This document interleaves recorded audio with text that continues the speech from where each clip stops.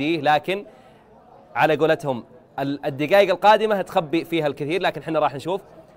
تفضل يا غالي. يا مرحبا. هلا وسهلا. خال المتسابق فيصل الحازب يا مرحبا الله يحييك. الله. اولا للمرة الثانية مشرفنا في ظهورك على الشاشة. يا مرحبا الله مليون. يرفع قدرك ومقامك ويشرفنا وقوفنا جنبك ووقوفنا في هذا الصرح الشامخ. والله يبيض وجيكم ويجمل حالكم. وجهك أبيض. أنت في لحظة لقاء المرة الماضية ما تم اللقاء. كنت زعلان مني بصراحة؟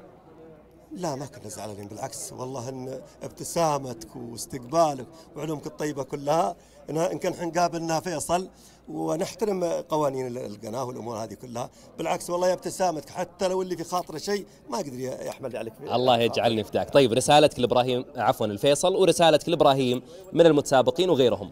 أول شيء نقول الله يوفقهم حقيقة يعني وقضوا هذا الوقت 90 يوم آه، وقت يحسب لهم ويحسب عليهم حقيقة. هو فيصل آه، أكيد شهادتي فيه مجروحة ولكن لو لم يكن كفو لهذا المكان والله ما كان سمحت له انه يدخل هذا البرنامج. ولكني عارف إنه مجمل وبيجمل وهو يلعب على كذا وتر شعر ولا مراجل ولا إعلام. وإن شاء الله أنه ناجح في كل الأمور. وحنا مثل ما أقول دائما حنا نتعشم فيها أكثر يا سلام يعني. يا سلام. طيب آخر حاجة هو بيني وبينك ترى ما أحد يسمع. من تتوقع ياخذ المركز الأول؟ والله ياخذ اللي يستحقه حقيقة يعني وأنا متأكد أن الجميع بذلوا جهودهم وكلنا بذلنا جهودنا مع الأصحاب والأصدقاء والمعارف والقبيلة.